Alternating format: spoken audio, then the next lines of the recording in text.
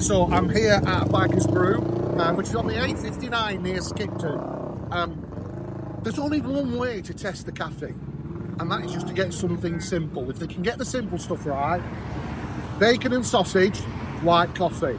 Now, I have to say, bacon's amazing, sausages are amazing, the bread is fresh. A lot of places on a Sunday really struggle because they don't get fresh bread on a Sunday, but that is fresh. Whether it's been frozen out of the freezer, but it's lovely. White coffee, perfect.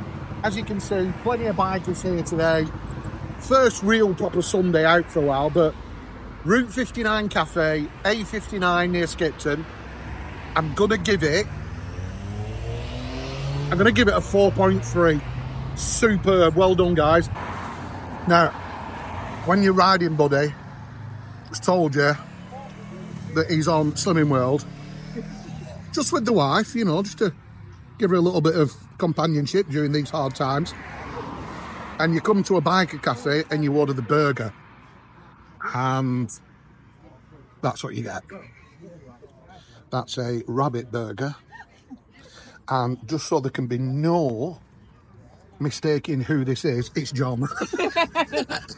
and, enjoy your rabbit burger. Nice lettuce. Nice lettuce.